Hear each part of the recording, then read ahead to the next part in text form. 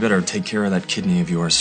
If I'm gonna put myself out there, fall in love with you, I am not going to lose you. Do you hear me? You planning on falling in love with me? Chris? What's wrong with you? What are you doing in Oakdale? Run! Get it, run! No! John, serious. Stop it. Ah! Shut up and just do what I tell you. What are you waiting for?